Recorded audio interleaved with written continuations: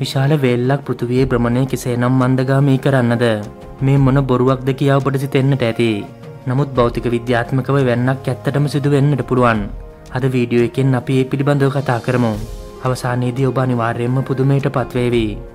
සියල්ලටම ප්‍රථමෝ අපි මොමන්ටෝ ෆිනශයා කියන භෞතික විද්‍යා නියමය ගැන දැනගමු මොමන්ටෝ ෆිනශයා රොටේෂනල් ලිනේශයා සහ ඇංගියුල මාස් සියල්ලම එකයි ඒ සියල්ලෙන්ම අදහස් කරන්නේ එකම එක දෙයක් පිළිබඳවයි සිංහලෙන් නම් එය අවස්ථිති ගූර්ණය ලෙස හඳුන්වනවා.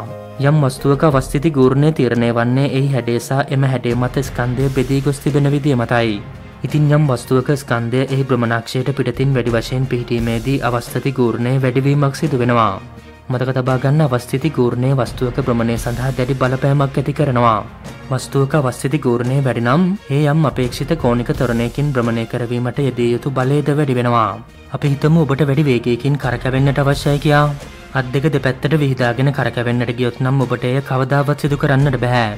මොකද අත් දෙක දෙපැත්තට වීදීමේදී ඔබේ සිරුරේ ස්කන්ධය ප්‍රමණක්ෂයෙන් පිටතට යාමෙන් අවස්ථිති ගූර්ණය වැඩිවීමක් සිදු වෙනවා. නමුත් ඔබ අත් දෙක සිරුර අසලට ලංකරගත්තොත් අඩු බලයක් යොදවමින් වේගයෙන් කරකැවෙන්නට පුළුවන්. ඉතින් එහිදී ඔබ ඇත්තටම සිදුකරේ අවස්ථිති ගූර්ණය අඩු කරගෙන කෝනික ප්‍රවේගය වැඩි කර ගැනීමයි.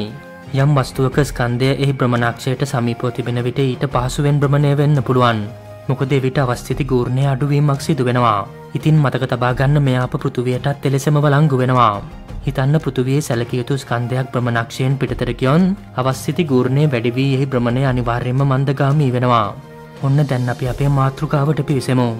චීනයේ හුබේ පලාතේ ඉලෙන් දිස්ත්‍රික්කයේ සැන්ඩුපින් නගරය තුළ ලොව විශාලතම වේල්ලක් පිහිටා තිබෙනවා.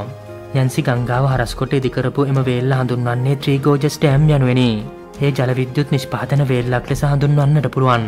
දෙදස් දාහතර වර්ෂයේදී එය ටෙරාවෝඩ් පය අනුවටයි දශ මටක්තරම් ප්‍රමාණයක් උත්පාදනය කරා. එම නිසාම එය එකල ලෝකවාර්තාවක් බවටත් පත් වනා. ඒ විසින් ජලගැලුම් ට්‍රිලියන දායක්කෝ රාත්තල් අසූතුනෑ දශම හතරක්තරම් විශාල ජලස්කන්ධයක් රඳවා තබා ගන්නවා.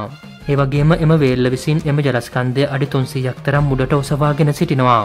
අඩි තුන්සීයක් තරම් මුඩට ඔසවාගෙන සිටින ජලස්කන්දය පෘතුවිය සමස්ත බරින් සුළු කොටසක් වුණන් එය පෘතුවියේ අවස්ථිති ගූර්ණය වැඩි කරමෙන් එහෙමත් නොමැතිනම් පෘතුවියේ ස්කන්දයෙන් කොටසක් එහි බ්‍රමණක්ෂයෙන් පිටතට රැගෙනයාමෙන් පෘතුවියේ බ්‍රමණය මන්දගාමය කිරීමට සමත් වනා. නාසා විද්‍යාඥීන් පවසන විදියට ඉන් පෘතුවියේ බ්‍රමණයට සිදුවන්නේ ඉතාමත්ම සුළු බලපෑමකි.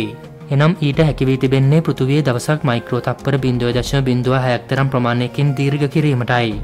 මතක තබාගන්න මයික්‍රෝ තප්පරයක් යනු තප්පරයෙන් මිලියන දායකින් පංගුවකි. ඒවගේම එම අවස්ථිති ගූර්ණ වෙනස හේතුවෙන් පෘතුවේ දෙවස්ථානයන්ද සෙන්ටිමීටර් දෙකින් එහා මෙහා වී තිබෙනවා. ඉතින් එක් තනි වේල්ලක් විසින් මෙවැනි වික්‍රමයක් සිදු කිරීම නම් මහා පුදුමයට කරුණකි. ඒවගේම බොනොදත් මෙවැනිදේ දිනපතා දැනගන්න අපිෝ සබස්ක්‍රයිබ් කරන්න. ඒවගේම කුඩා සීනුවබෝත් අලුත් වීඩියෝ දාපු ගමන් ඔබට දැනගන්නටත් පුරුවන්.